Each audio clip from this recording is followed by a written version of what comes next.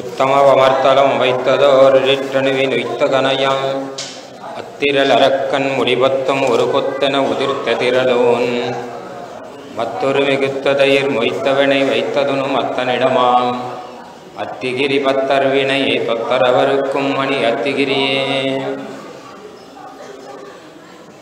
மனுஷன் எத்தனையோ ஜென்மங்கள் எல்லாம் எடுத்து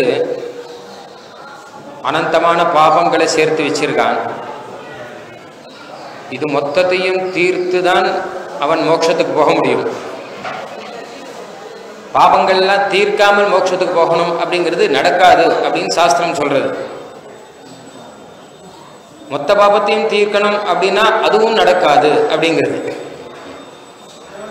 அனுக்ஷண சமுச்சிதே துரித வாரிதௌ துஸ்தரே எதி கொச்சன நிஷ்கிருதி பவதி சாப்பி தோஷாவிலா ஒவ்வொரு க்ஷணத்திலையும் பாபம் பண்ணிட்டு இருக்கோம் ஒரு நாள்ல பண்ண பாபம் அப்படின்னா அதுவே நிறைய இருக்கு. இந்த மாதிரி ஒரு ஒரு வருஷத்துல இன்னைக்கு ஜனவரி ஒண்ணாம் தேதி அப்போ போன வருஷம் எத்தனை பாபம் இந்த வருஷம் எத்தனை பாபம் அப்படின்னு பார்த்தா நம்மளாலேயே கணக்கு பண்ண முடியல. இன்னும் நமக்கு தெரியாத பாபங்கள் இன்னும் அநேகம் இருக்கு. துரித வாரிதி அப்படின்னு சொல்கிற மாதிரி பாபத்தினுடைய கடல் பாப கடலில் முழுகி நின்றுருக்கோம். வெளியில வர முடியாமல். இதுக்கு பெரியவர்கள் அப்புறம் சாஸ்திரங்கள் எல்லாம் ஏதாவது சில பாபத்துக்கு பிராயஷ்சித்தம் சொல்லலாம் அப்படின்னு பிராயஷ்சித்தம் சொல்றா. இந்த பாபத்துக்கு இது பிராயஷ்சித்தம் பண்ணுங்க அப்படின்னு சொல்றா. பிராயச்சித்தம் பண்ணதால மாத்திரம் பாப்பம் பூர்ணமா போயிடாது. பிராயச்சித்தத்தினால கொஞ்சம்தான் போகுமா? முக்கியமான விஷயம் என்னன்னு கேட்டா பிராயச்சித்தம் பண்ணிட்டு மறுபடியும் அந்த பாப்பம் பண்ணாம இருக்கணுமா? அப்பதான் போகுமா அவனுக்கு அனுதாபாத்து உபரமாத் அப்படிங்கிற சுவாமி. அனுதாபப்படணும். பாபம் பண்ணிட்டோமேன்னு. மறுபடியும் பண்ணாம இருக்கணும் அந்த பாபத்தை. இப்படிலாம் இருந்தால் தான் பிராயச்சித்தத்துக்கு பூர்ண பலம். இல்லைன்னா பிராயச்சித்தத்துக்கே பூர்ண பலம் கிடையாது.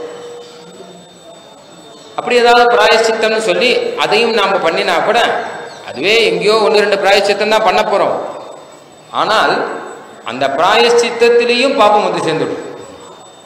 எதி கொச்சன நிஷ்கிருதி பவதி சாப்பி தோஷாவிலா. இந்த பிராயச்சித்தத்திலையும் பாபம் வந்து சேர்ந்துடுத்துனா அப்புறம் எப்போ? எப்போ முடியும்? மண்யே குஞ்சர சௌச்சவது அப்படின்னு ஒரு பாகவதத்தில் யானை வந்து குளிச்சா மாதிரி தான் ஆயிடும். யானை குளிச்சுட்டு மறுபடியும் தன் மேலே புழுதியை வாடி தானே இறைச்சிக்கும். யானையை நல்லா குளிப்பாட்டி விட்டா கூட ஸ்ரீரங்கத்தில் காவேரியில் கொஞ்ச நாள் கரையில் இருந்தால் போதும். அந்த மணல் எடுத்து தன் மேலே போட்டுக்கும் யானை. அந்த மாதிரி இவன் பிராயச்சித்தம் பண்ணுறேன்னு பண்ணிட்டு மறுபடியும் அதே பாபத்தையே பண்ணிட்டு இருக்கான். மனுஷா ரிஷபாயதே அப்படின்னா இந்த குட்டையில் ஊரிண்டு இருக்கிற எருமை மாடு மாதிரி இங்கேயே ஊரிண்டு இப்படியே பாபத்தை பண்ணிட்டு இப்படியே காலத்தை கழிச்சுட்டு இருக்கோம். அப்போது இதுக்கெல்லாம் ஒரு கதி தான் என்ன? இந்த பாபங்கள்லாம் போகிறதுக்கு எல்லா பாபங்களும் போகணும். நிறைய பாபங்கள்லாம் போகணும். அப்படின்னா தர்மசாஸ்திரங்களில் ஒரு பிராயஷ்சித்தம் ரொம்ப சிரேஷ்டமாக சொல்லியிருக்கா. அது சேது ஸ்நானம் அப்படிங்கிறது. சேது ஸ்நானத்தில் அநேக பாபங்கள் போகும். பெரியவாள்லாம் கூட சில சமயம் போய் சேது ஸ்நானம் பண்ணிட்டு வா அப்படின்னு ரொம்ப கஷ்டமாக இருக்குது வாழ்க்கையில் என்ன பண்ணுறதுன்னு தெரியல. செட்டில் ஆக முடியல. விவாகமாக மாட்டேங்கிறது அப்படி இப்படின்னு என்ன கஷ்டம் இருக்காலோ போய் ஒரு தடவை போய் சேது ஸ்நானம் பண்ணிட்டு வா. அப்படின்னா அப்போ முக்திஹி தத் தர்சனாதேவ ந ஜானே ஸ்நானஜம் பலம் அப்படின்னு வரும் அந்த ஸ்நான விதியில். அந்த சேத்துவை பார்த்தாலே சகல பாபத்திலேருந்து முக்தி வருவான் அதை ஸ்நானம் பண்ணால் என்ன பலன்கிறது? எனக்கு தெரியாதுன்னு சாஸ்திரம் சொல்லியிருக்கு. எவ்வளோ பலம் வருங்கிறத என்னால் சொல்ல முடியாது அப்படின்னு சாஸ்திரமே சொல்கிறது அப்படி ஒசந்ததான ஒரு பிராயஷ்சித்தம் இந்த சேது ஸ்நானம் அப்படிங்கிறது.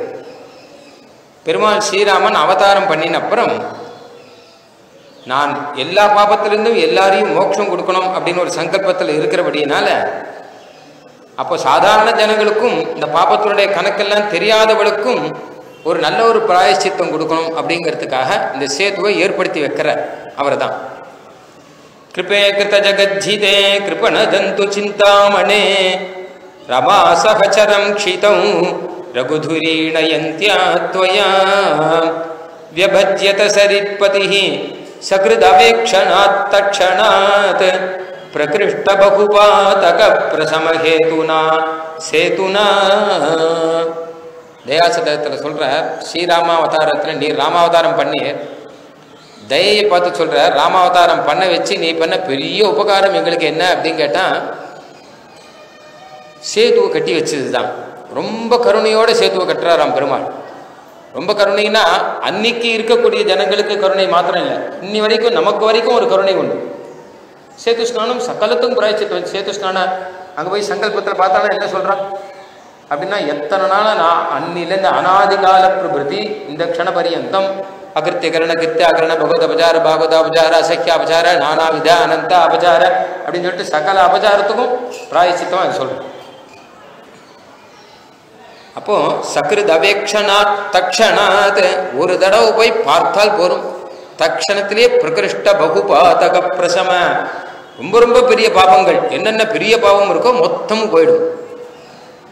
சுவாமி தேசிகன் அந்த அவேக்ஷனாத் சொல்றபடினால அந்த காலத்தில் சேத்து நல்லா இருந்திருக்குன்னு தெரியுது. சுவாமி தேசிகன் நேர பார்த்துருக்கார் அப்படின்னு தெரியுது. எழுநூத்தம்பது வருஷம் முன்னாடி பார்த்துருக்கார் அப்படிங்கிறது தெரியுது. தம் வீக்ஷ சேது மதுனாபி சரீரவந்தः சர்வே ஷடூர்மி பகுலம் ஜலதிம் தரந்தி அப்படின்னு வரதராஜ பஞ்சாயத்தையும் சாச்சு தம் வீக்ஷிய சேத்தும். அந்த சேத்துவை போய் பார்க்கறார். ஏன்னா வரதராஜ பெருமானே நீர் தானே சேத்துவை கட்டினீர். ஏனாச்சல பிரகிருதினா ரிபுசங்ஷயார்த்தி வாராநிதிம் வரதபூர்வமலங்கயன் ஸ்துவம் நீ சமுத்திரத்தை கடக்கணும் அப்படிங்கிற ஒரு வியாஜத்தை வச்சுண்டு ஜனங்களுக்கு சேத்து கட்டி நீர் கொடுத்தபடினாலே இன்னைக்கு எல்லாரும் சமுத்திரத்தை கடந்துட்டு இருக்கான் நீர் அன்னைக்கு அந்த சமுத்திரத்தை கடக்கிறதுக்கு சேத்து கட்டினீர் நாங்கள் எல்லாம் சம்சார சாகரத்தை கடக்கிறதுக்கு இந்த சேத்து எங்களுக்கு உபயோகமாக இருக்கு. சர்வே ஷடூர்மி பகுலம் ஜலதின் தரந்தி. இந்த துக்க சாகரத்தை கடக்கிறதுக்கு இந்த சேது எங்களுக்கு நன்னாக உபயோகமாக இருக்கு என்று சாதிக்கிறார். அதனால பெருமாளுடைய பரம கருணை அப்படிங்கிறது ராமாயணத்தில் உத்தமமான கருணைங்கிறது இங்கே தான் நல்லா தெரியுது. கிருப்பேன் கிருத ஜெகத்ஹிதே ஜெகத்துக்கெல்லாம் ஹிதம் தவிர வேற பண்ண தெரியாது உமக்கு. ஒரு அவதாரம் அப்படிங்கிறது பண்ணான்னா அந்த காலத்துல மாத்திரம் இல்லை. பின்னாடி என்னன்னைக்கும் க்ஷேமத்தை கொடுக்குற மாதிரி ஜெகத்துக்கு ஹிதமா பண்ற. ஜெகத் ஹிதார்த்தம் தானே அவதாரம் பண்ற. ராமாவதாரமோ கிருஷ்ணாவதாரமோ ஜெகத் ஹிதார்த்தம் அப்படின்னு சொல்றோமோ இல்லையோ நாமளே. கிருபண ஜந்து சிந்தாமனே. நாங்களாம் கிருபண ஜந்து. ஒன்றும் இல்லாதவா ஒரு நிஷ்கிஞ்சனா. கையில் எதுவுமே கிடையாது. எதுவுமே கிடையாது. எங்களுக்கு சிந்தாமணியா வந்திருக்கான். சிந்தாமணி கல் இருக்கோ இல்லையோ? சிந்தாமணி ரத்னம் இருந்தா அப்போ மொத்தமும் இருந்ததுக்கு சமானம். ஏன்னா சிந்தாமணி ரத்னம் அது ஒரு ரத்னமே அதுவே பல ரத்னங்களை குட்டி போடுவான். அப்படிப்பட்டது அது. அப்போ ஒண்ணுமே இல்லாத பரம தரித்திரனா இருக்கிறவனுக்கு சிந்தாமணி கல் கையில கிடைச்சா எப்படியோ அந்த மாதிரி எதுவுமே இல்லாத எங்களுக்கு இந்த ராமாவதாரம் கிடைச்சிருக்கு. அது என்ன பண்ணிட்டு அப்படின்னு கேட்டால் எங்களுக்கு சேத்து காமிச்சு கொடுத்தது. கிருபே கிருத ஜெகத்ஹிதே கிருபண ஜந்து சிந்தாமணே கிருபணம்னா ஒன்றும் பண்ணுவா அந்த பிராயச்சித்த காண்டம்னு ஒன்று இருக்குது தர்மசாஸ்திரத்தில். பிராயசித்த காண்டத்தில் என்னென்ன பாபத்துக்கு என்னென்ன பிராயசித்தம் நிறைய எழுதி வச்சிருக்கா. இதெல்லாம் பார்த்தால் நம்மளால் ஒரு நாளும் அனுஷ்டானம் பண்ண முடியாது. அதை பார்க்குறோம் மூட்டை மூட்டை கட்டி வச்சுடும். சரிதான்? இதெல்லாம் இருக்குது அவ்வளோதான் அவர் சொல்லியிருக்கார் அப்படின்னு தான். சாந்திராயணம் அப்படின்னு விரதம் இருக்குன்னா ஒரு வாரம் பட்னி இருக்கு. யார் பட்னி இருக்க முடியும்? ஒரு வாரம் பட்னி இருக்கணும் பத்து நாள் பட்னி இருணும் நாற்பது நாள் காட்டில் போய் இருணும் அப்படி கேட்டால் தானம் பண்ணுறதா இருந்தால் நிறைய சொர்ணங்கள் தானம் பண்ணும் அப்படின்னும் நாம் என்ன பண்ணுறோம் அப்படின்னு கேட்டோன்னா ஏதோ எத்கிஞ்சித் ஹிரண்யம் அப்படின்னு கேட்டான். எத்கிஞ்சித் ஹிரண்யம் அப்படிங்கிறாங்க. இந்த ஹிரண்யத்தை நீ நன்னா பாவிச்சுக்கணும் அப்படின்னு வேற சொல்றா. மயா சமர்ப்பிதாம் இமாம் சௌவர்ணீம் எத்கிஞ்சித் தட்சிணாம் யதோக்த தட்சிணாம் இவ ஸ்வீகிருத்திய நான் ஏதோ கொஞ்சம் தான் கொடுக்குறேன். அது சாஸ்திரத்தில் சொன்ன எதோக்த தட்சிணா யார் நினச்சிட்டு இதை எடுத்துக்கணும் அப்படின்னு சொல்கிறோம் அது மாதிரி பிராயஷ்சித்தத்தில் அதில் இருக்கிற கிருச்சிரங்கள்லாம் பார்த்தானா அதை செய்யறதே ரொம்ப கிருச்சிரம் கிருச்சிரம்னா கஷ்டம்னு அர்த்தம். அது செய்யறதே ரொம்ப கஷ்டமாக இருக்குது அப்போ அத்தனை கிருச்சிரம் இருக்கும்போது அப்போது ஒரு இடத்துல எழுதிக்கா சக்கர ஸ்நானேன நவகிருச்சிர பலதம் அப்படின்னு அந்த சமுத்திர ஸ்நானத்தில் ஒரு தடவை ஸ்நானம் பண்ணானா நவகிருச்சிர பலமாக இப்போ திருப்பி திருப்பி ஸ்நானம் பண்ணால் அநேக பலம். திருவனந்தபுரத்தில் சங்கல்பத்தில் சொல்கிறார் ஸ்நானத்தில் சமுத்திர ஸ்நானத்தில் சகர்த்னா சகத் ஸ்நானேன நவகிருச்ச பலதம் க்ஷேத்திர மகிம்னா அனந்த கிருச்ச பலதம். ஏன்னா அனந்த க்ஷேத்திரம் இல்லையோ? அதனால் க்ஷேத்திர மகிமினாலே அனந்த கிருச்ச பலதம் அனந்த கிருச்ச பலதம் அப்படின்னு சொல்லிக்கணுங்கிறார். அப்போ எத்தனை மகான்கள் போய் சேத்து ஸ்நானம் பண்ணிட்டுவான்னு சொல்லி சிஷ்யர்கள்லாம் அனுப்புகிறார் எத்தனை பெரியவர்கள்லாம் அனுப்புகிறார் எல்லாரும் போய் ஸ்நானம் பண்ணியாச்சுன்னா உடனே நமக்கு பாபங்கள்லாம் போயிடும் அப்படிங்கிற ஒரு நம்பிக்கை மாத்திரம் இல்லை. அது பலத்தையும் கொடுக்கறது நேராக பார்த்துன்னு இருக்கோம் இன்றைக்கும் அதை பகவான் நமக்கு கொடுக்கணும். வடக்கையே மொத்த திவ்ய தேசங்களும் இருந்தால் என்ன அர்த்தம்? அயோத்தியா சித்திரகூடம் பஞ்சவடின்னு பெருமாள் பெருமாளுடைய சம்பந்தப்பட்டது மொத்தமும் வடக்கே இருக்குது அப்போ நமக்கு என்ன?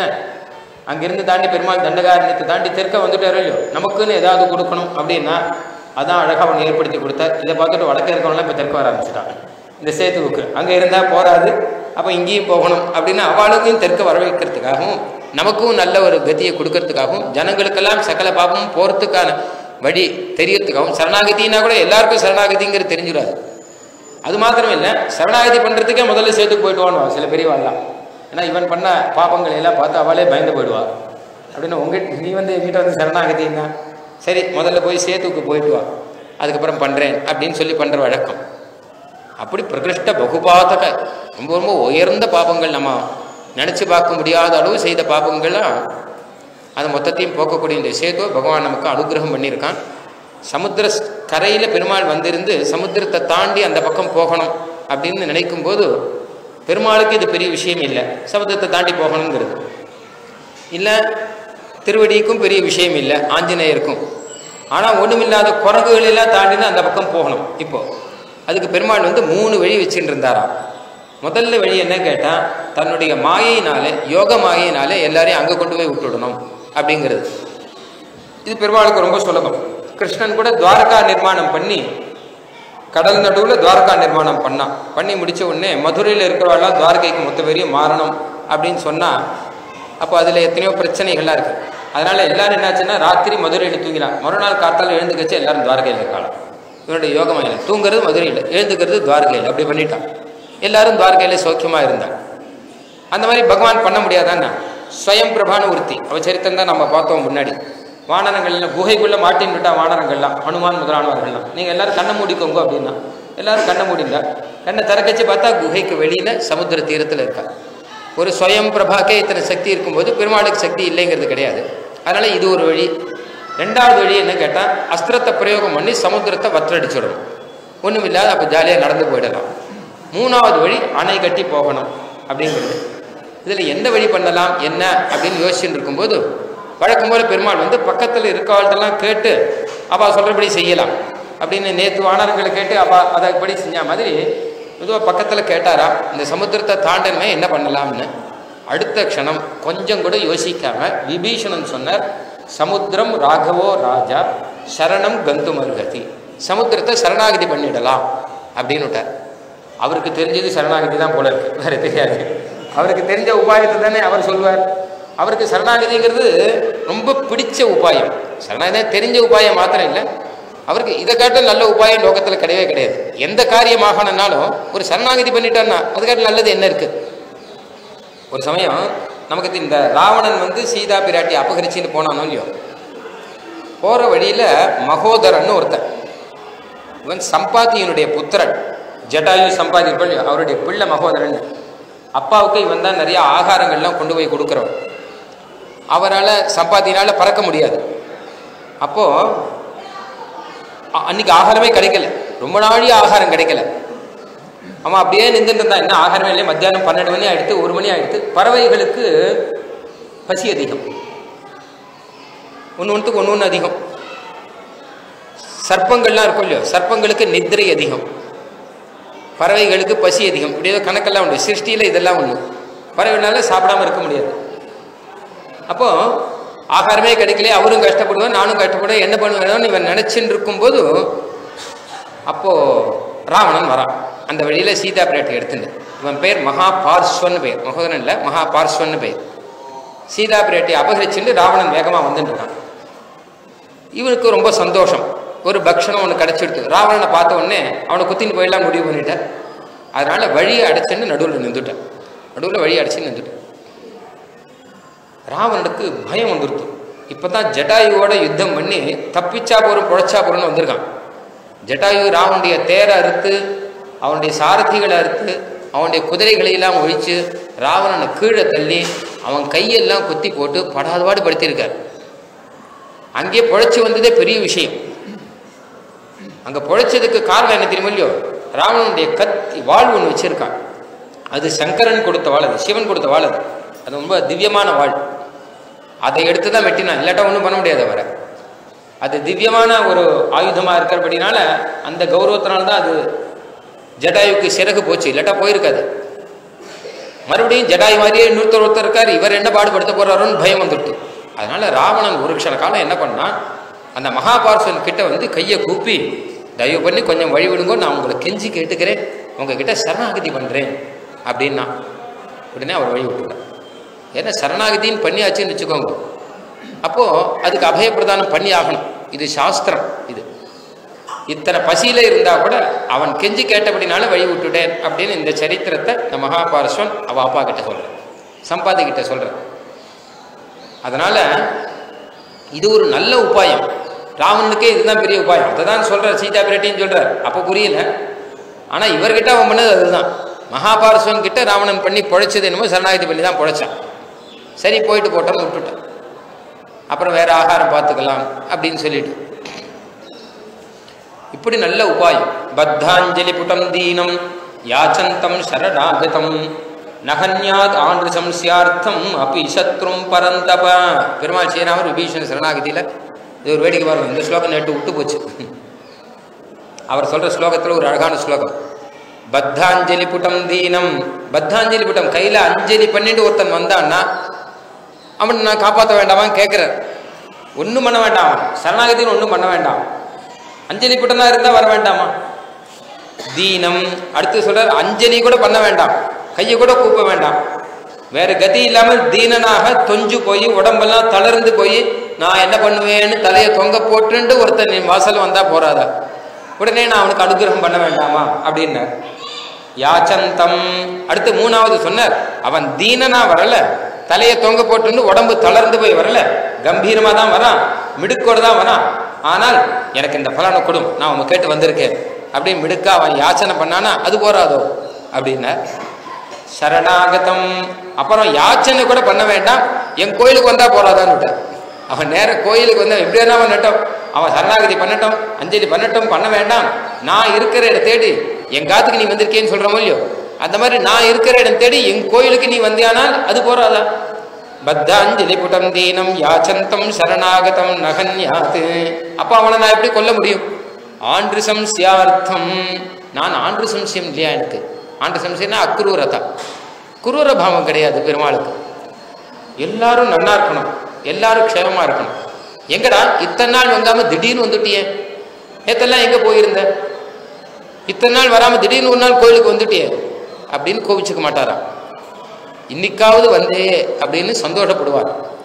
ரொம்ப நாள் கழிச்சு கோயிலுக்கு ஒருத்தர் போனால் வச்சுக்கோ. சஷ்டத்து பூர்த்தி இன்னைக்கு கோயிலுக்கு ஒருத்தர் போனார். போனால் நாமளாக என்ன பண்ணுவோம்னா பரிகாசம் பண்ணுவோம் அவரை.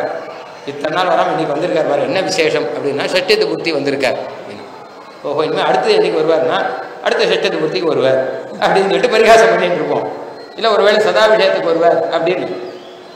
ஆனால் பெருமாள் என்ன பண்ணுறான்னா சரணாகதம்ங்கிற மாதிரி சரணாகதம்னா இந்த இடத்துல என்ன அர்த்தம் கேட்டால் நான் இருக்கிற இடத்துக்கு வந்தவன் அர்த்தம்.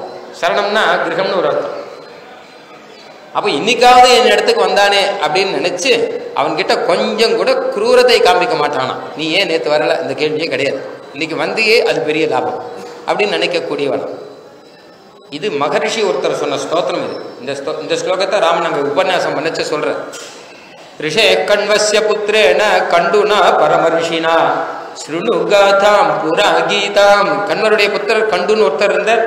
அவர் சொன்ன ஸ்தோத்திரம் இது. அதை நான் சொல்றேன் கேளுங்கோ அப்படின்னு சொல்லிட்டு இந்த ஸ்லோகத்தை சொல்றேன் அந்த மாதிரி ரீதியில சரணாகதிங்கிறது சிரேஷ்டமானது. விபீஷன் நிறைய அனுபவிச்சவர். அதனால சமுத்திரத்தை சரணாகதி பண்ண வேண்டியது அப்படின்னு சொல்ல பெருமாளுக்கு திடுக்கிட்டு போயிட்டார். ஏன்னு கேட்டால் மொத்த பேரும் என்கிட்ட வந்து சரணாகதி பண்ணுங்க நான் அபயம் கொடுக்குறேன்னு தான் சொன்னேன். பண்ணேன் தான் சொன்னார். விபீஷன் கிட்ட சொன்னார். யாராக இருந்தாலும் சரணாகதி பண்ணால் அபயம் சர்வபூத்தே பியோததாமி ஏதத் விரதம் இந்த விபீஷன் இவரே போய் இப்போ சரணாகதி பண்ணு அப்படிங்கிற லோகத்தில் எல்லாருக்கும் சரணாகதி பண்ண அபயம் கொடுக்குற என்ன போய் சரணாகதி பண்ண சரி இருக்கட்டும். என்னால் பிரகிருத்தினாலே பெருமாளுக்கு அது ரொம்ப பிடிச்ச தர்மமானபடினாலே சரி சமுத்திரன்னு சரணாகதி பண்ணலாம் அப்படிங்கிறதுக்காக சரணாகதி பண்ண ஆரம்பித்தேன் அதிசிஷ்யே மகோதேகே சமுத்திரத்தினுடைய தீரத்தில் பெருமாள் வந்து சமுத்திரத்தை பார்த்துண்டு சயன திருக்கோலத்தில் இருந்தாராம். இந்த சரணாகதி அப்படிங்கிறது இதுக்கு வெளியில் எதுவும் பண்ண வேண்டாம். வெளி வேஷம் எதுவும் இதுக்கு தேவை கிடையாது. சரணாகதி பண்ணுறதுக்காக என்ன பண்ணணும் அப்படின்னு கேட்டால் வெளியில் எதுவும் பண்ண வேண்டிய சரணாகதிக்கு அங்கம்னு எதுவுமே கிடையாது. பகிரங்கமான அங்கம் அப்படிங்கிறது எதுவும் கிடையாது சரணாகதிக்கு. இருந்தால் கூட பெருமாள் சரணாகதி பண்ணாருங்கிறது எல்லாருக்கும் தெரியணும் இல்லையோ அதுக்காக சமுத்திரத்துக்கிட்ட பெருமாள் கேட்கறதுக்காக என்ன விரதமோ அந்த விரதத்தை எடுத்துட்டார் அந்த விரதத்தை எடுத்துட்டு சமுத்திரத்தை பார்த்துட்டு பெருமாள் வந்து சமுத்திர தீரத்தில் நான் சமுத்திரம் எனக்கு அனுகிரகம் பண்ணுற வரைக்கும் பிரசாதம் பண்ணுற வரைக்கும் நான் இந்த இடத்துல இப்படியே படுத்துன்னு இருப்பேன் நான் ஒன்றும் ஆகாரம் இல்லாமல் படுத்துன்னு இருப்பேன்னு ஒரு விரதத்தை கையில் எடுத்துட்டார் எடுத்துட்டு சமுத்திர தீரத்தில் தரையில் பெருமாள் படுத்துட்டாராம் தரையில் ஜல ஜலத்தில் இருக்கக்கூடிய திருப்பார்கடலில் ஜலத்தில் இருக்கக்கூடிய பெருமாள் இன்னைக்கு ஸ்தலசாயியாக படுத்துட்டு ஸ்தலசாயி பெருமாள் ஆச்சரியமாக தரையில் படுத்துட்டு இருக்கிறத பார்த்தாலே வானங்கள்லாம் அப்படியே தள்ளி இருந்து பார்த்துட்டுருக்கு இப்படி தரையில் வந்து படுத்துட்டுருக்காரு வால்மீகி அழகாக சொல்கிறேன் என்ன ஆச்சரியம்? இந்த தரையில் படுத்துக்கிறதுக்கு ஏதாவது கை தன்னுடைய கையே தலகாணியாக வச்சுட்டு சடிச்சுட்டு இருக்கார் இது எப்படிப்பட்ட கை தெரியுமான்னு விபீஷன் பக்கத்துலேருந்து இருந்து விபீஷன் பார்த்து ஐயோ இவரை போய் நம்ம சரணாகதி பண்ணுன்னு சொல்லிட்டோமே. இப்படி தரையில் போய் படுத்துட்டு இருக்காரு லக்ஷ்மண பெருமான் பார்க்கறாரு எப்படி இப்படியே ப படுக்கையில் படுக்க வேண்டியவர்? ஒன்றும் இல்லாமல் தர்பசாயியாக தரையில் போய் படுத்துட்டு இருக்காரு இது சரசாயி பெருமாள் இருக்காரு இல்லையோ? மாமல்லபுரத்தில். அவரை பார்த்தா நமக்கே பரிதாபம் வரும். ஏன்னு கேட்டோன்னா கிட்டத்தட்ட இருபத்தேழு திவ்ய தேசத்துலையும் இன்னும் பெருமாள் வந்து சைன திருக்குளத்தில் இருக்காருன்னு சொல்கிறான் ஆனால் எந்த திவ்ய தேசத்திலும் பெருமாள் பார்த்தோன்னா அப்படி நேராக பார்த்தா திருவார். ஏன்னா ஆதிசேஷன் ஆதிசேஷன் மேலே பெருமாள் சயனத்தில் இருக்கார். நேராக பார்க்கணும். இல்லை நல்லா மேலே இருந்து பார்க்கணும். இந்த கடன் மலை திருக்கடன் மலையில் போய் பார்த்தோம்னா பெருமாள் கீழே இருப்பார். நம்ம குனிஞ்சு பார்க்கணும். பெருமாள் தரையில் தான் இருக்கார் அவர். நாம் அவசரமாக நிற்கிறோமோ அங்கிட்டு போய் பெருமாள் குனிஞ்சு பார்க்க வேண்டியதாக இருக்கு. அப்படி ஸ்தலசாயியா படுத்துன்னு அவருடைய திருக்கைகளை பார்த்தா லக்மணன் நினச்சி பார்க்குற இந்த கைகள் இருக்கே. இதுதான் ஒரு காலத்தில் அநேக கோ சகசிரங்களை எல்லாம் தானம் பண்ண கைகள் அப்படிங்கிறார். இந்த திருக்கைகள் தான் முன்னொரு சமயத்தில் நல்ல உத்தம ஸ்திரீகள் எல்லாம் அலங்காரம் பண்ண வச்ச கைகள். இந்த திருக்கைகள் தான் பட்டாபிஷேக சமயத்தில் அநேக அலங்காரங்கள்லாம் பண்ணாள் இந்த திருக்கைகள் தான் ஜலஸ்தானத்திலே பதினாலாயிரம் பேரை சம்ஹாரம் பண்ண கைகள் அப்படின்னு அதனுடைய பெருமையெல்லாம் நினச்சி பார்க்குறேன் விபீஷணோ இவரை போய் நாம் இப்படி சொன்னோமே அப்படின்னு சொல்லிட்டு ரொம்ப கஷ்டத்தோடு கூட அவர் பெருமாள் சயனத்தில் இருக்கும்போது கை கூப்பிட்டு பக்கத்தில் கண்ட ஜலம் கொட்ட ஆரம்பிச்சுட்டார். எத்தனை அழகா இருக்கார். கிடந்ததோர் கிடக்கை கண்டும் எங்கனம் மறந்து வாழ்கேன் அப்படிங்கிறார். ஏழையேன் ஏழையேனே இப்படி சயனத்தில் பார்த்து கிடந்ததோர் கிடக்கை. இந்த கிடக்கையை பார்த்து நான் எப்படி மறக்க முடியும் என்னால்? நாம் இருக்கிற இடத்துல வந்து படுத்துட்டார் பெருமாள் பெருமாள் என்ன பண்ணாரா? இந்த கடன் வசூல் பண்ணுறவன் இருக்கானோ இல்லையோ? அவன் வந்து ஒரு ஆற்றுல போய் அவர் கொடுக்க வேண்டிய கடன் இருக்கு. அதை வசூல் பண்ணணுங்கிறதுக்காக அவாத்துக்கு போனான். அவன் அவன் ரொம்ப கெட்டிக்காரன். இவர் இவன் வரத கோடியிலே பார்த்துட்டான். தெருக்கோடியில் இவன் வரைச்ச பார்த்துட்டு ஆற்றை வந்து வெளிப்பக்கமாக பூட்டி ஆற்றுக்குள்ளே போயிட்டான். இவனுக்கு அந்த சாமர்த்தியம் தெரியும். வெளிப்பக்கம் பூட்டு தொங்குறது. ஆனால் ஆற்றுக்குள்ளே இவன் இருக்கான். வந்தவன் பார்த்துட்டு ஆம் பூட்டி இருக்குன்னு சொல்லிட்டு திரும்பி போயிடட்டும் அப்படின்னு. ஆனால் அவன் அன்னைக்கு தான் ஆற்றுல மாமிக்கிட்ட சபதம் பண்ணிட்டு வந்திருக்கான். கடனை திரும்பி வசூல் பண்ணாமல் திரும்பி வருது இல்லை அப்படின்னு சபதம் பண்ணிட்டு இங்கே வந்திருக்கான். இங்கே வந்து ஆம் பூட்டியிருக்கான் எங்கேயோ வெளியில் போயிருக்கான் போல இருக்குது வரட்டும். எங்கே வராமையா போயிடுவான். ஊரில் தானே இருக்கான் கேட்டான் பக்கத்தாத்தில் ஆமாம் ஊரில் தான் இருக்கான் இங்கே தான் நீங்கள் கூட படுத்துந்தாரு நீ காத்தால கூட படுத்துந்தாருன்னா அப்போ நான் இங்கேயே நிற்கிறேன் எங்கேயே கடைக்கு போயிருப்பான் வரட்டும் அப்படின்னு சொல்லிட்டு கொஞ்சம் காய் நின்றுந்தானாம் பத்து நிமிஷம் ஆச்சு கால் ஆச்சு. வரவே இல்லை. அந்த திண்ணையில் உட்காந்துட்டான் சரி வரட்டும். வந்தப்புறம் பார்த்துக்கலாம் ஊரில் தானே இருக்காங்க. இங்கே தான் இருக்கான். நாங்கள் பார்த்துட்டே இருந்தோம். போகிறதா இருந்தால் எங்ககிட்ட தான் சாவியை கொடுத்துட்டு போவாருண்ணா சரி அப்படியானா சரின்னு சொல்லிட்டு உட்காந்துருந்தான் உள்ளே இருக்கிறவனுக்கு வெறுத்து போயிடுது. என்ன உட்காண்டே இருக்கான் போக மாட்டேங்கான் இவன் போனால் அவன் எழுந்து வரலாம். இப்படியே பார்த்துட்டே இருந்தான் காத்தாலேருந்து ஆரம்பித்து சாயங்காலம் வரைக்கும் அப்படியே உட்காந்துருக்கான் அவனும் வெறுத்து போய் அவனுக்கும் ஆகாரம் கிடையாது ஒன்றும் கிடையாது. அப்படி இருக்கும்போது சரி பட்டினி இருக்கானோ இல்லையோ?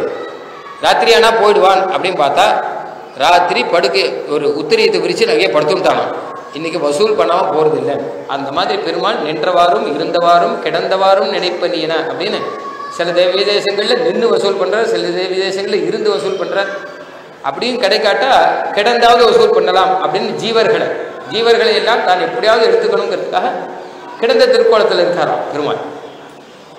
சம்சாரம் மொத்த பேரும் எல்லா ஜனங்களும் வந்தால் தவிர நான் எழுந்திருக்கிறது இல்லைன்னு படுத்துட்டு வசூல் பண்றதுக்காக. அந்த மாதிரி பெருமாள் இருக்கிறத பார்த்து குடதிசை முடியை வைத்து குணதிசை பாதம் நீட்டி வடதிசை பின்பு காட்டி தென்திசை இலங்கை நோக்கி கடல் நிற கடவுளந்தை அரவணை துயிலுமா கண்டு உடல் எனக்கு உருகுமாலோ என் செய்கேன் உலகத்தீரே இப்படி ஒருத்தன் படுத்துட்டு இருக்கிறத பார்த்து என் உடல் எனக்கு உருகலையே. நமக்காக நாம் இருக்கிற இடத்துல வந்து படுத்துட்டு இருக்கானே அப்போ அடியேனுடலும் நின்பால் அன்பாயே நீராய் அலைந்து கலைய உருக்குகின்ற நெடுமாலேன்னு ஆறாம் புதன் கிட்ட சொல்றார். ஆழ்வார்கள்ல பெருமாள் கிடந்ததை பார்த்தாலும் உருகி போறா அவ. மூன்று திருக்கோலத்துல கிடந்த திருக்கோலம் தான் அழகு. உருகி போறாளாம் அவள்லாம் ஏன்பா இப்படி வந்து வந்து படுத்துட்டு இருக்கே நீ எழுந்துக்க மாட்டேயா? உனக்கு இப்படியே படுத்துட்டு இருக்கே உனக்கு உடம்பு வலிக்கலையா ஒருத்தர். இப்படியே திருப்புளிங்குடி கிடந்தானே அப்படிங்கிற. திருப்புளிங்குடியில நம்மாழ்வார் சொல்ற திருப்புளிங்குடியில படுத்துட்டு இருக்கீங்க உன் திரு உடம்பு அசைய. உன் திருவுடம்பு வலிக்காதா உனக்கு? அப்படிங்கிற இப்படியே படுத்துட்டு இருக்கேன். அதான் ஆழ்வார்கள்லாம் அழகா. உனக்கு வலிக்காதா? நடந்த கால்கள் நொந்தவோ? அப்படிங்கிற கிடந்த நாள் கிடந்தாய்.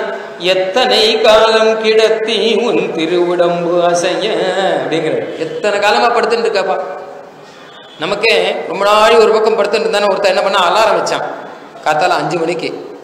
அலாரம் அடித்த உடனே உடனே என்ன எழுந்துக்க போறியா? அப்படின்னா எழுந்துக்கிறதுக்கு இல்லை ஒரே மாதிரி படுத்துட்டு கை காலெல்லாம் வலிக்கிறது. அதனால திரும்பி படுத்துக்கிறதுக்கு இந்த அலாரம் வேணாமா கிடந்த நாள் கிடந்தான் எத்தனை காலம் கிடத்தி உன் திரு உடம்பு அசைய தடங்கள் தாமரை கண் விழித்து நீ எழுந்து உன் தாமரை கண் தடங்குள் தாமரை கண் விழித்து நீ எழுந்து உன் தாமரை மங்கையும் நீயும் இடங்கள் மூ உலகும் தொட இருந்தருளாய். திருப்புலிங்குடி கிடந்தானே மூலும் நாங்கள்லாம் சேவிக்கும்படி கொஞ்சம் உட்காந்து கோயங்கிற பெருமாள் கிட்ட. இப்போ படுத்துட்டே இருக்கே உனக்கு வலிக்காதா? கொஞ்சம் உட்காந்து கோயங்க அந்த மாதிரி விபீஷன் வந்து இவரை போய் நாங்கள் நான் இப்படி சொல்லிட்டேனே எத்தனை அழகா பெருமாள் சைன திருக்கோலத்தில் இருந்துட்டு இருக்கார். அப்படின்னு அதையே நினைச்சு உருக பெருமாள் அதை மனசுக்குள்ள வச்சுட்டார். அதான் விபீஷனுக்கு கிடந்த திருக்கோள். நின்றவாறும் இருந்தவாறும் கிடந்தவாறும் நினைப்பரியன அதனால தான் கடைசியில் பட்டாபிஷேகம் முடிஞ்ச உடனே அந்த கிடந்த திருக்கோலத்தில் இருக்கிற ரங்கநாதர் விபீஷனுக்கு கொடுத்து அனுப்பிச்சிட்டார். நீ இவரை பூஜிச்சுன்னு. அவருக்கு அது பிடிச்சிருக்கு. யாருக்கு என்ன பிடிக்குமோ அந்த ஃபோட்டோ தானே கொடுக்கணும். அதனால விபீஷனுக்கு அது பிடிச்சிருக்குங்கிறபடினால அந்த திருமேனி அப்படியே விபீஷனுக்கு லத்வா குலதனம் ராஜா லங்காம் பிராயாத் விபீஷணஹா அப்படின்னு வரும் தன்னுடைய குலதனத்தையே கொடுத்துட்டார் பெருமாள். இக்ஷ்வாக்கு குலதனம் அப்படின்னு பேர் இல்லை ரங்கநாதன். அதை விபீஷனுக்கு ஏழை பண்ணி கொடுக்கிறார். அவனுடைய பக்தினாலே நின்ற திருக்கோலம் தாரைக்கு சேவை. இருந்த திருக்கோலம் சுமந்தரருக்கு சேவை. கிடந்த திருக்கோலம் விபீஷனுக்கு சேவை.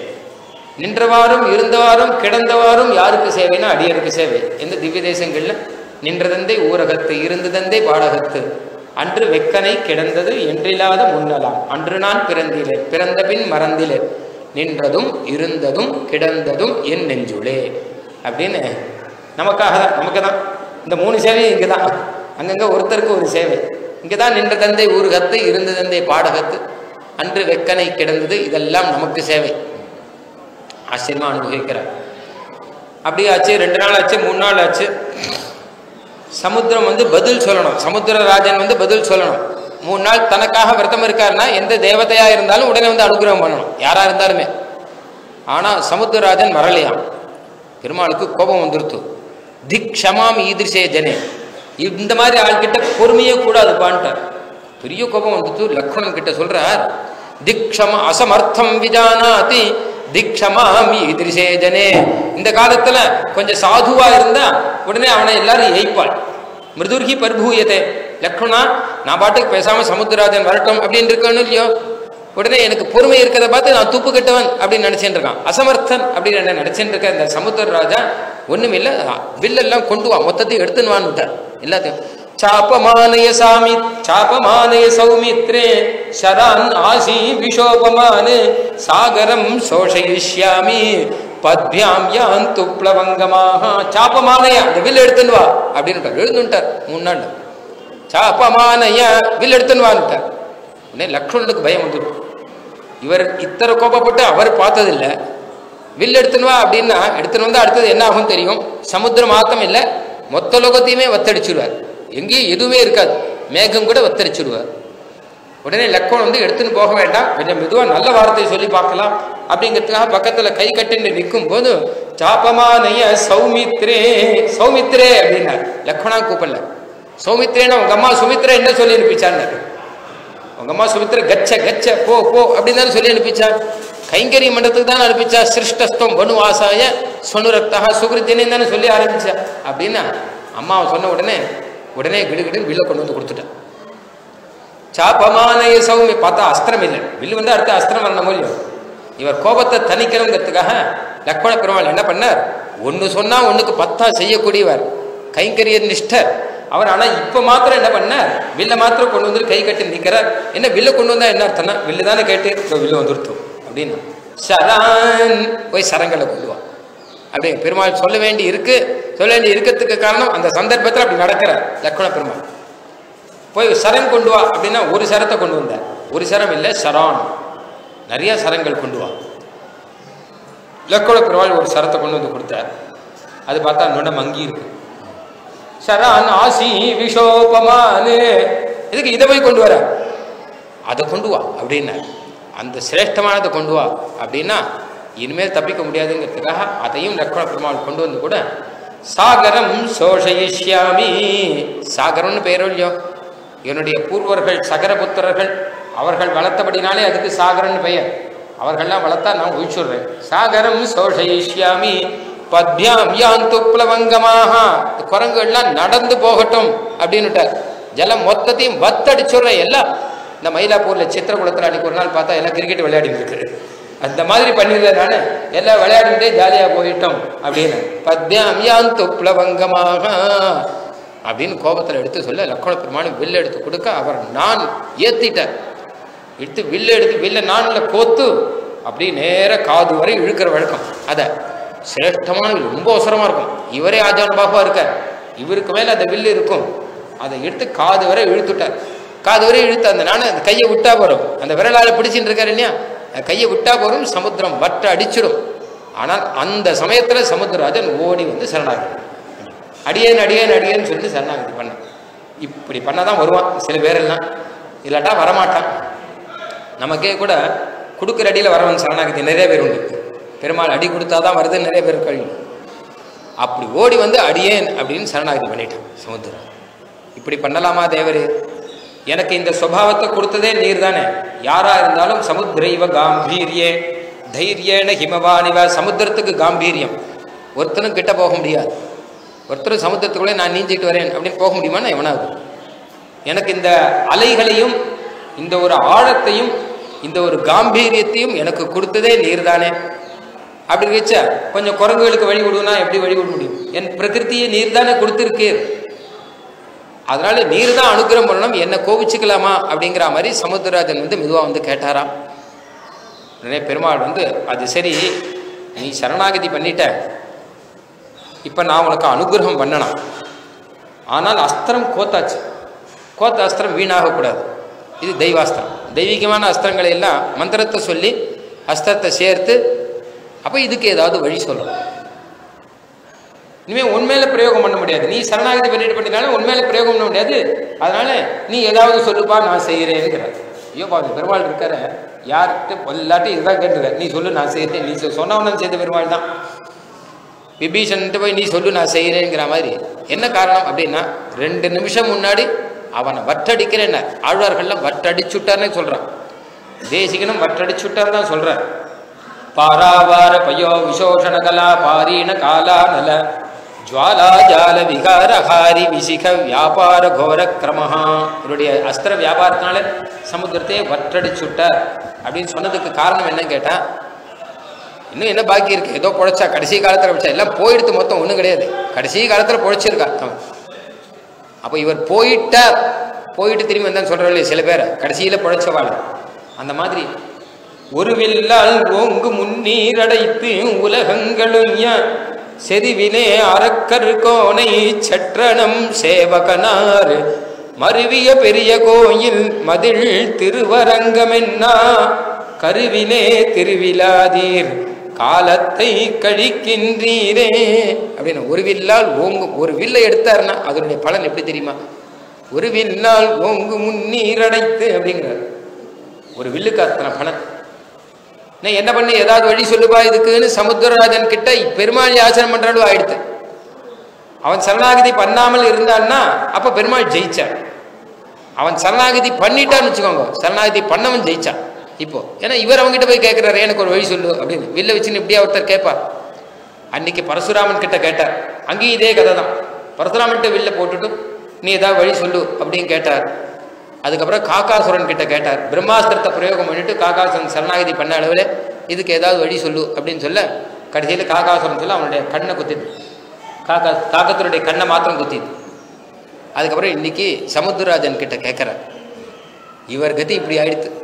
என்ன காரணம் அப்படின்னு கேட்டால் தயைக்கு வசப்பட்டவர் ஆனபடினாலே யார் சரணாகதி பண்ணாலும் அவன் காலில் இவர் விடுற மாதிரி ஆயிடுது. அப்பாம் சத்ருன்னு அசகன முனேர் தர்மணிகளம் கிருபே காக்கசீகம் ஹிதமிதி ஹினஸ்தி ஸ்மரயனம் மூணு எடுத்து சொன்னவர் சுவாமி தேசிகன் தான். விலீன சுவாதந்திரியா விஷகிரிபதி ஸ்வத்விகிருதிபி இதெல்லாம் பெருமாளுடைய லீலா. சுவாமி தேசியன் அழகா சொல்கிறார் பெருமாளுடைய லீலைனா என்ன? அப்படின்னு கேட்டால் ஜனஸ்தானத்தில் பதினாலாயிரம் பேர் வதம் பண்ணுறதும் ராவனுடைய தலைகளை உருட்டுறதும் இதெல்லாம் பெருமாளுடைய லீலையா சமுத்திரராஜன் கிட்ட போய் அப்பா எனக்கு ஏதாவது வழி சொல்லு அப்படின்னு கேட்கறதும் பரசுராமன் கிட்ட போய் இந்த அஸ்திரத்துக்கு ஏதாவது வழி சொல்லு அப்படின்னு கேட்கறதும் இதெல்லாம் பெருமாளுடைய தயையினுடைய லீலையா அதனால தயாசகத்தை போட்டார். தயையே உன்னுடைய லீலை இது மொத்தம். விஷகிரிபதிஹி துவத்விகிருதிபிஹி உன் லீலையில என்ன ஆச்சுன்னு கேட்டாங்கன்னா விஷகிரிபதிஹி அப்படின்னா பெருமாள் இருக்காரு இல்லையோ? பெருமாளுடைய லீலை அப்படின்னா அந்த லீலைக்கு விஷயமானவாள் நிறைய பேர் இருக்கா? அவள் அதுல போறா. இல்லை வேற ஏதோ பண்றா? இல்லை இந்த தயையினுடைய லீலையில் என்ன தயையுடைய லீலையில் யார் விஷயம்? அப்படின்னா பெருமாள் தான் விஷயம்.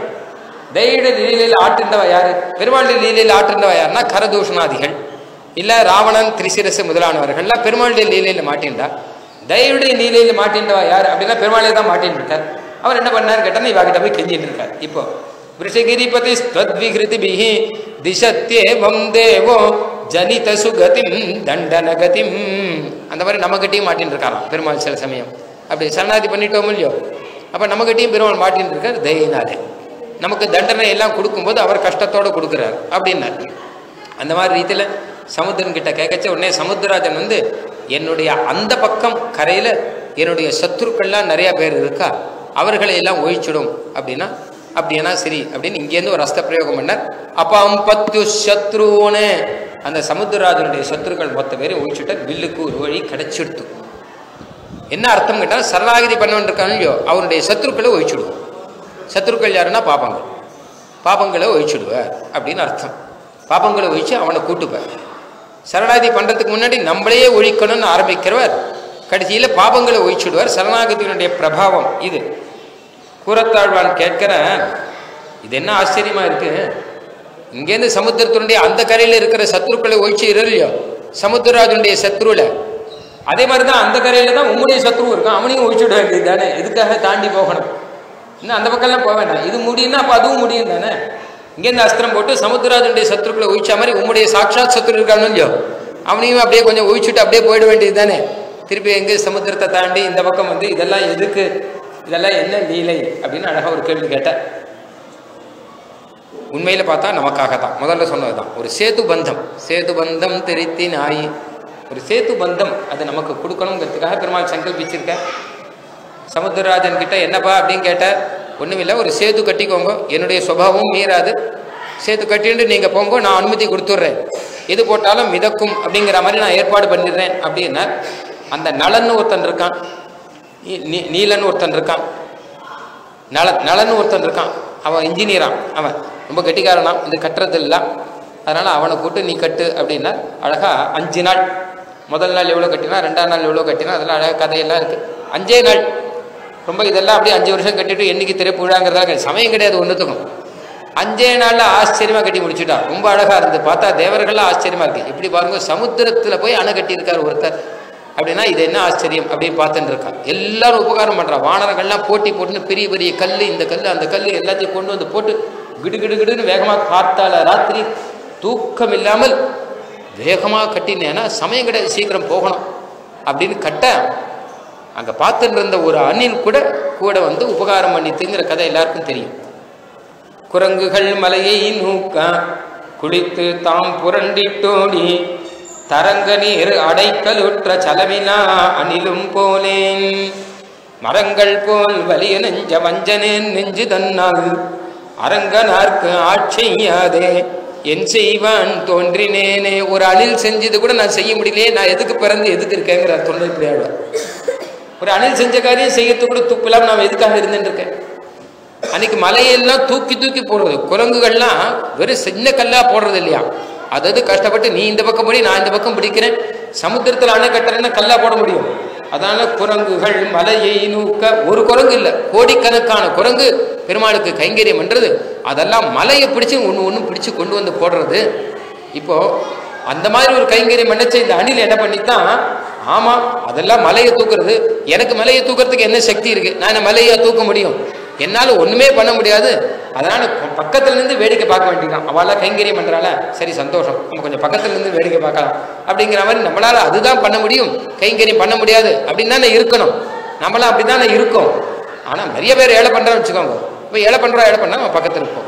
பாராயண கர்மனா பாராயணம் நம்ம பக்கத்தில் இருப்போம். எத்தனையோ பேர் கைங்கரியம் பண்ணுறான் நம்ம பக்கத்தில் இருந்து செவிப்போம் அப்படின்னு நம்மளால் ஒன்றும் செய்ய முடியாதுன்னு இருக்கிற மாதிரி ஒதுங்கி இருக்க வேண்டிய அணில் ஆனால் நான் என்ன பண்ண முடியும் அப்படின்னு யோசிச்சுன்னா என்னால் கண்ணை கல்லை புரட்ட முடியாது. என்னால் மண்ணை புரட்ட முடியாது. அப்போ என்னால் பண்ண முடிஞ்சது என்ன அப்படின்னா குளித்து தாம் புரண்டிட்டோனி.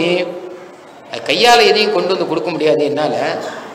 அப்போது அந்த சமுத்திரத்தில் போய் குளிக்குமா? குளிச்சுட்டு நேராக கரையில் வருமா? மண்ணில் புரளுமா? அப்போ உடம்பு முழுக்க மண்ணாயிடும். அந்த மண்ணோடு கூட அப்படியே கிரிக்கிறதுன்னு மேலே ஓடி வந்து இந்த அணை கட்டுற இடத்துல வந்து அங்கே வந்து உதருமா? உதறினா அந்த மண்ணெல்லாம் அந்த இடத்துல உதிர்ந்துடும் அப்போ அந்த மலைக்கு நடுவில் இருக்கக்கூடிய சின்ன சின்ன கேப் எல்லாம் இருக்கும் இல்லையோ? அதெல்லாம் மெதுவாக அடைச்சிக்குமா. ஒரு அணில் சின்ன அணில் இதனால என்ன காரியம் ஆகிட போகிறது இதை இந்த வந்து இந்த மண்ணை கொட்டினபடியினால தான் அந்த அணை நிற்கிறதா?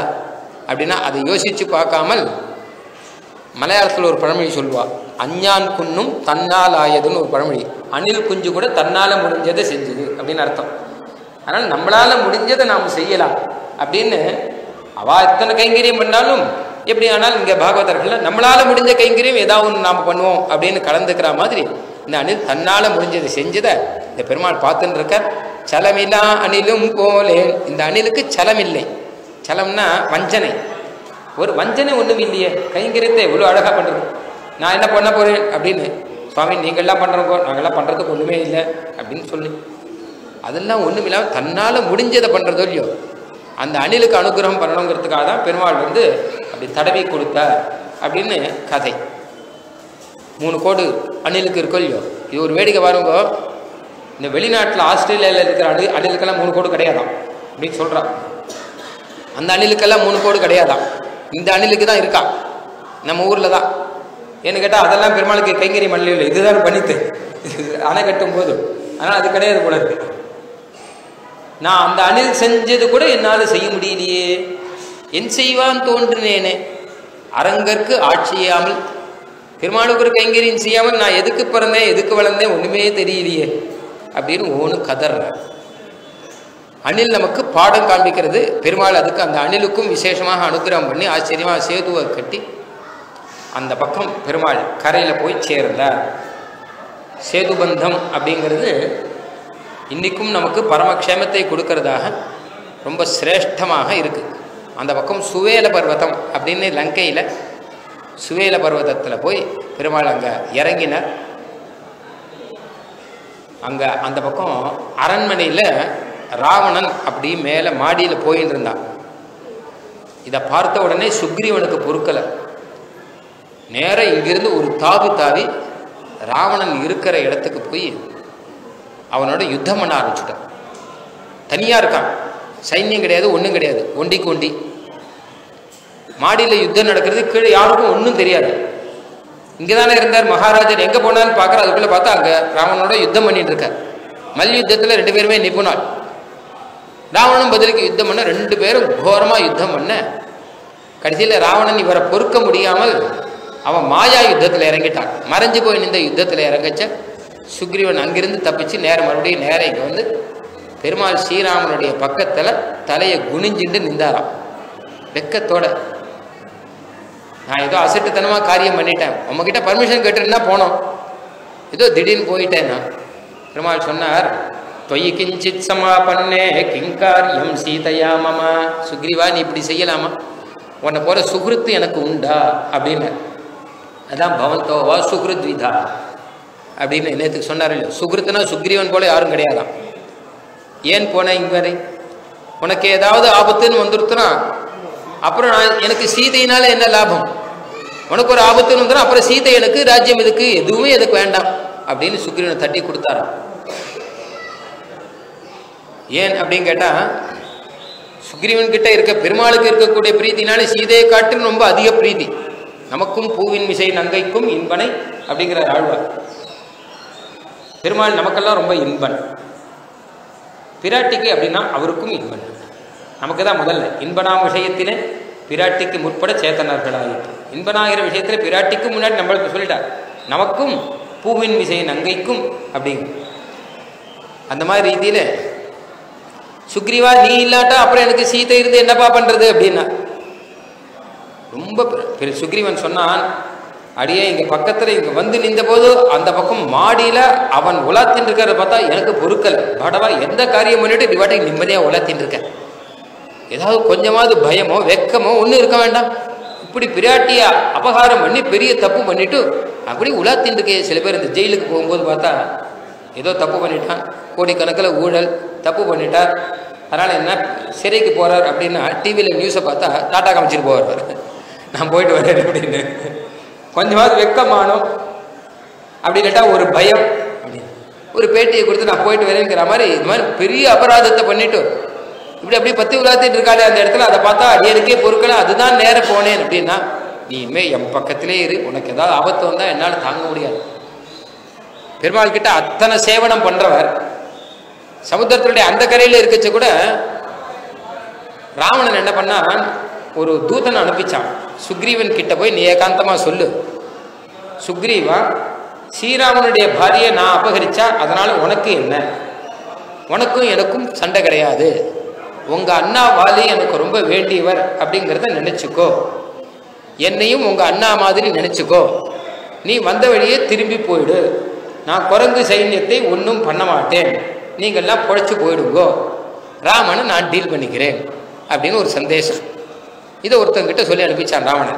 நீ போய் யார்கிட்டையும் சொல்ல வேண்டாம். சுக்ரீவன் கிட்ட மாத்திரம் போய் இந்த விஷயத்தை சொல்லு.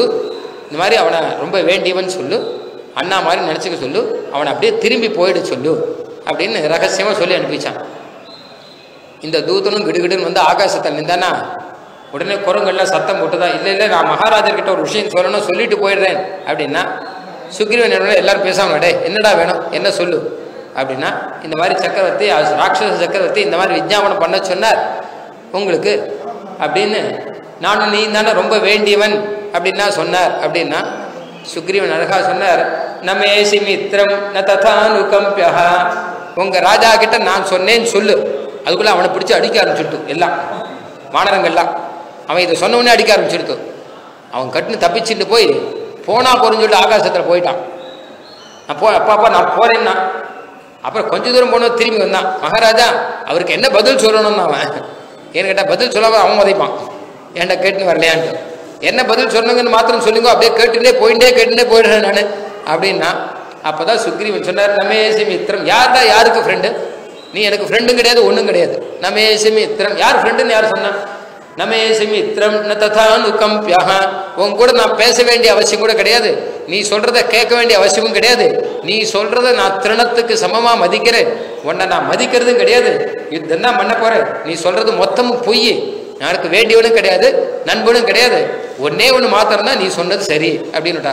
என்ன அப்படின்னா என்னை உங்க அண்ணா மாதிரி நினைச்சுக்கோ அப்படின்னு சொன்னியோ இல்லையோ அப்படிதான் நான் நினைச்சிட்டு இருக்கேன். எங்கள் அண்ணாவை என்ன பண்ணேனோ அதை தான் உன்னையும் பண்ண போறேன் அப்படின்னு சொல்லி பண்ணிட்டாங்க ததோ சிவாலி வதர்கவத்யா வாலி எப்படி பண்ணனோ அதை தான் உன்னையும் பண்ண போறேன் அப்படின்னு சொல்லி அனுப்பிச்சுட்டாங்க. அந்த மாதிரி என்ன சொன்னாலும் பெருமாள் கிட்ட அத்தனை அச்சஞ்சனமான பக்தியில் இருக்கக்கூடிய சுக்ரீவன் இந்த மாதிரி ஒரு காரியத்தை பட்ட அவனையும் கூட்டுண்டு பெருமாள் அப்படியே ஆனால் யுத்தம் ஆரம்பிக்கலாம். அப்படின்னார். மறுநாள்லேருந்து யுத்தம் ஆரம்பம். இன்னைக்கு ராத்திரி யுத்த சரித்திரமும் ஸ்ரீராம பட்டாபிஷேகம். இன்னைக்கு ராத்திரி இப்போ சேது பந்தம் திருத்தி இலங்கையில் அந்த கரையில் பெருமாள் ஏழு இருக்கார் அப்படின்னு. இதுக்கு நடுவில் நிறையா தூதம்.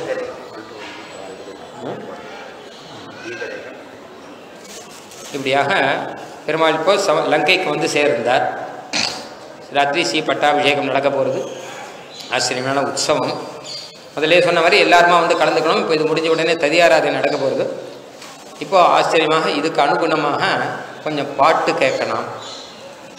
அதனால் தீபவல்லி தீபரேகா கல்பவல்லி தீபரேகா கல்பவல்லி இவா ரெண்டு பேருமாக இங்கே வந்து பாட்டு பாடி பகவத் கைங்கரியம் பண்ணுவார் स्वस्ति प्रजाभ्य परिपालयन्तां न्याय्येन मार्गेण महीं महीषाः गोब्राह्मणेभ्यः सुखमस्तु नित्यं लोकाः समस्ताः सुखिनो भवन्तु कवितार्किकसिंहाय कल्याणगुणशालिने श्रीमते वेङ्कटेशाय वेदान्तगुरवे नमः